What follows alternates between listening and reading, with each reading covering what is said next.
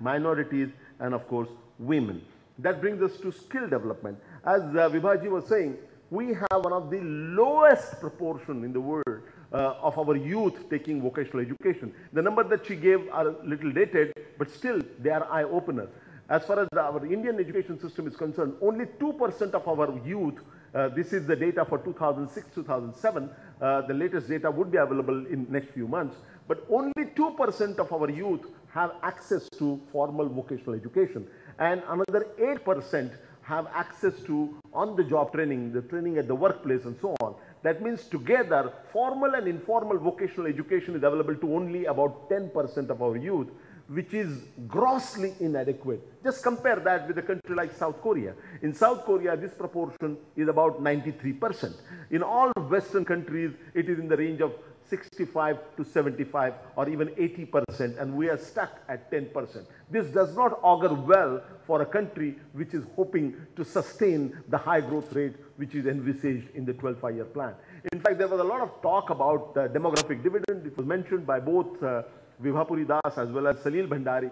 You know, while we talk about demographic dividend, it is clearly understood, it is clearly understood that if we don't put our education sector and uh, skill development sector in order, the, all this talk about demographic dividend will turn into a demographic nightmare.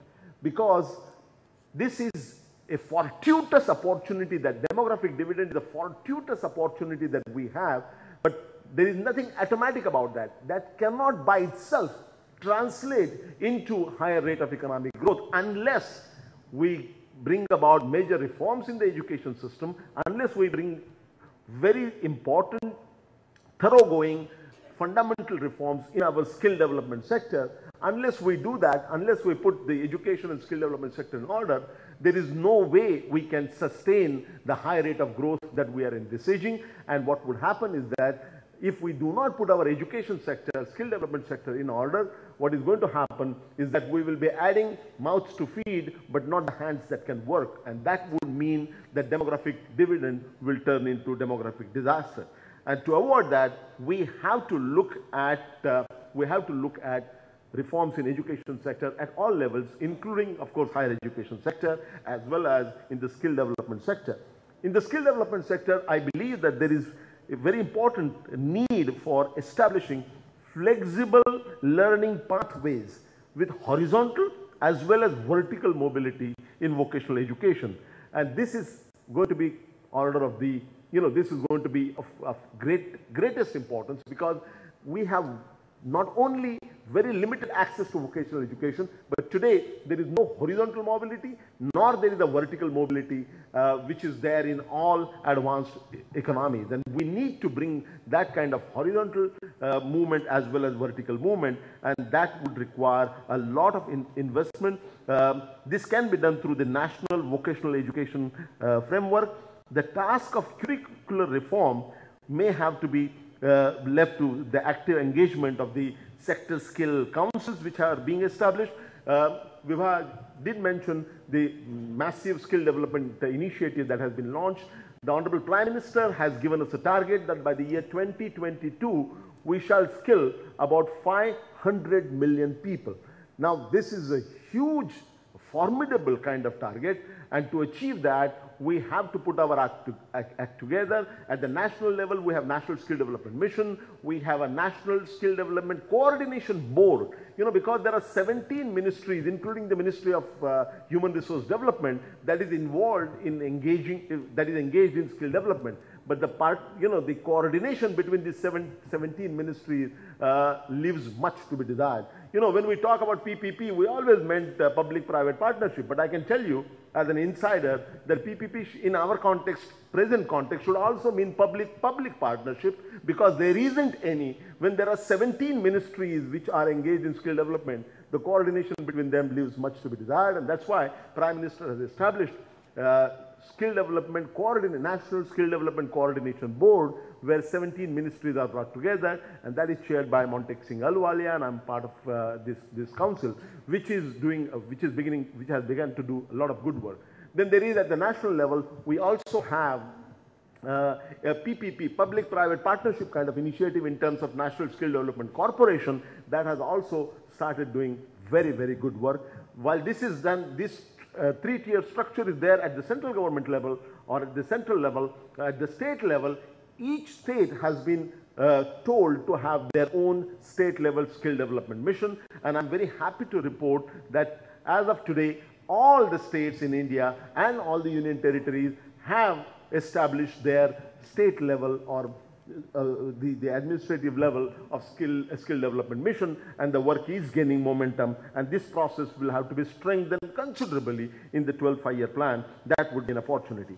Um, finally, we turn to the uh, higher education, about the reach and quality of higher education. We all know that for long-term sustenance of high growth rate of Indian economy, GER, the gross enrollment ratio uh, in higher and technical education would have to be substantially increased. The target for GER, the gross enrollment ratio in higher and technical education in India, the target for the 11th plan was 15% and we are somewhere close to achieving that. Uh, Vibhaji mentioned the number of 13.5%. We are close to achieving the 15% target and we are now talking about the future target. Uh, when our GER was only 12.8%, that is three years ago, at that time, how did it compare with the rest of the world?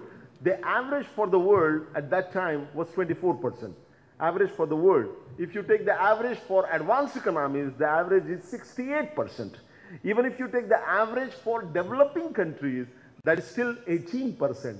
So at 12%, we were two-thirds of even the average for developing countries, and it was one-fifth of the average for the advanced economies which again goes to show that we have a very long way to go. We are right now debating on what should be the target and in the 12th plan we will arrive at the target. The Honorable Minister of Human Resource Development has talked about the numbers in terms of 25% uh, uh, in the next few years and 30% over a decade or so. These numbers would be finalized uh, when the National Development Council takes a final view on that as a part of our proposal for the 12th five-year plan. Um, and there are not only, not only uh, our GR is very low, this is the aggregate GR we are talking about, but there are very serious problems about the social gap, the gender gaps, and even the regional gaps. You'll be surprised that eight states in our country account for 70% of the total number of universities and colleges. So 70% of our educational, higher educational institutions are concentrated in eight states. So the regional disparity is appalling. Even more appalling is the social disparity. You know, as I, when our gross enrollment ratio was only 12.8%, that is in the year 2007-2008, uh, if you break it down between rural and urban, male and female, rich and poor, scheduled caste, scheduled tribe and others or minorities, uh, Muslims and uh, or other minorities and the general population. It is appalling. You would be shocked to find that going by the 2007-2008 numbers in, in the, among the scheduled tribes and the scheduled tribe female in the rural area, the gross enrollment ratio was less than 2%. I think we should all hang our head in shame that at this time and age, we have large strata of society where 98% of the population do not have even mere access to higher education. This goes to show the kind of challenge that uh, we would have to face. The quality of higher education is also a vitally important matter. A discomfortingly large number of colleges, state and private universities are of low to medium quality. And as uh, Vibhaji quoted uh, the Honorable Prime Minister, we are talking about few centers of excellence uh, in an island of uh, mediocrity. Uh, this is the argument that is often made. We really have to have a long way to go. Um, since the colleges and state universities constitute the bulk of our higher education, which is often not recognized, the bulk of our higher education uh, is really in the state universities, which are least talked about and mostly ignored in terms of funding in particular. And, you know, because they are the ones who are never in the news. Uh, they are the ones which require massive improvement because, and massive funding of course, uh, that is because they are the ones who are really the mainstay of higher education in our country. Uh, and this will require massive central support. Significant improvements in the gross enrollment ratio with better access and improved quality can perhaps be achieved in a cost-effective manner if the existing colleges and state universities, including the old and reputed ones, are strengthened and expanded. And that is going to be uh, certainly, I certainly hope that that would be one of the focus areas of the 12 five-year plan.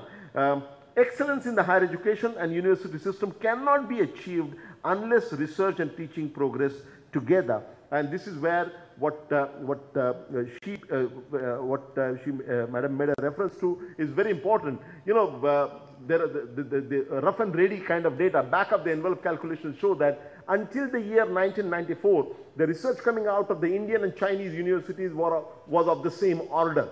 Today, while a lot of people believe that we have a much larger number of people who can speak English, fact of the matter is that the research coming out of the Chinese institutions is about five times larger than the research that is coming out of the Indian education system. So research is going to be or should must be a very very important priority. Here the particular attention would have to be paid to the advancement of knowledge through research. Unfortunately, the research seems to have taken a back seat in the Indian university system. Unlike in the past, state university, state university system is no longer the cradle of scientific research and innovation. How to reverse this trend and establish mutually reinforcing linkages between teaching and research is an issue that is going to merit attention in the 12 five-year plan. Related to this is the issue of faculty shortages, which can possibly tackled through innovative ways such as technology-enabled learning and collaborative information and communication technologies. A complete overhaul of academic staff colleges is something, again, very urgently and eminently required. Administrative staff colleges are supposed to train the trainers, they teach the teachers, and discomfortingly large number of teachers, particularly in the state universities, are blissfully unaware of the recent advances in their own subject. So up making, updating their knowledge base has a, multi, has a multiplier, positive multiplier. If all the uh, reform measures which are currently underway are implemented fully in letter and spirit, it is going to change the higher education sector uh, completely. Uh, uh what would be crucial would be mobilization of formidable funding requirement from both government as well as private sources and it would remain a challenge that would have to be addressed.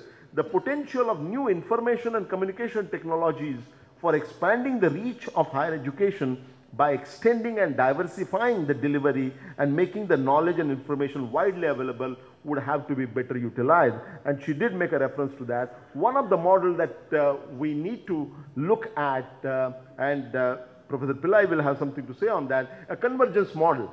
You know, uh, the ICT would have a long reach in terms of distance education, but in the in the future we may need to look at scalability was what Vibha was talking about. For achieving the scalability in the shortest possible time, uh, we will have to think in terms of a convergence model where there is a traditional and distance education format are combined in an innovative manner.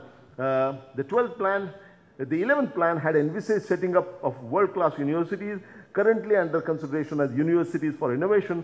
This is something which will be required. Uh, but one feeling that is coming again and again is that rather than creating a de novo institutions by, and terming them as innovation universities, it would perhaps be preferable to convert or upgrade a few of the universities and institutions uh, as a collaborative mode of establishing innovation universities. It would also be an opportunity for recognizing institutions of excellence within our existing system and turn them into world-class institutions. Finally, about facilitating private institutions, including the PPP in uh, education, particularly higher education, uh, let me say that while higher education continues to remain a public good, a public service, resource limitations are a reality and hence diversified sources of funding, including through private sector, would have to come and would have become, uh, have become inevitable today. Identification of viable PPP models for education sector so as to attract private investment for enhancing quality of education services is now well recognized and we are going to move in that direction. One of the contentious issue there and this is is being debated and will be debated in the 12 five-year plan is uh, the non, not-for-profit tag in the education sector. There is a view that we probably